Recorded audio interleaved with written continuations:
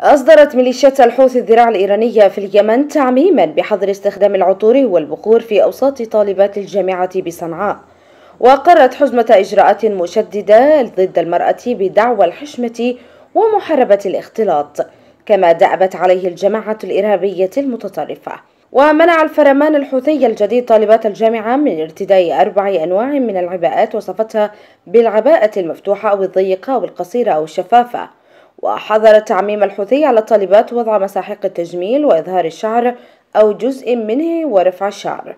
واعتبرت ميليشيات الحوثي استخدام العطور أو البخور في أوساط الطالبات واحدة من المخالفات وبررت ميليشيات الحوثي ذلك تحت عنوان نظرا لما تقتضيه المصلحة العامة محذرة الطالبات من مخالفة هذا التعميم وارتكاب مثل هذه المخالفات. وتعيد هذه الإجراءات إلى الأذهان حملات حوثية في سبتمبر 2019 استهدفت محلات لبيع البالطوهات النسائية وقامت بإحراق ربطة الخصر في العبايات النسائية في حملات أثارت تندر ناشطين بوسائل التواصل الاجتماعي.